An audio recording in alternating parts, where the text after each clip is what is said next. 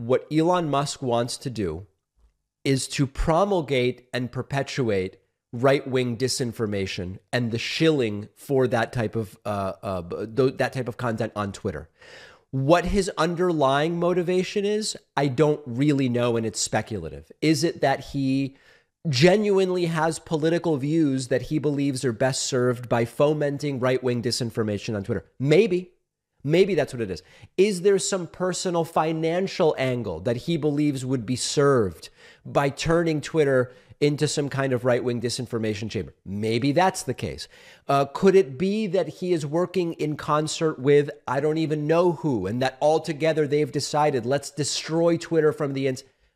I don't believe we know yet. I believe it's premature to explain exactly what it is that is motivating all of this, but it is getting very, very bad. And I don't believe it's going to turn around anytime soon.